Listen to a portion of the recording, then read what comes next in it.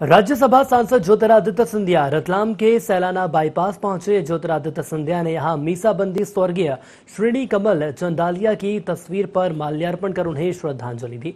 आपको बता दें कि सिंधिया पिपलौदा से रतलाम जाते समय सैलाना बाईपास पर स्वर्गीय चंदालिया के अनुज अशोक चंदालिया के कॉटेज पर कुछ क्षण के लिए रुके। वहीं दौरान चंदालिया परिवार ने राजमाता सिंधिया के सैलाना आगमन के समय का एक चित्र भी ज्योतिरादित्य सिंधिया को भेंट किया है।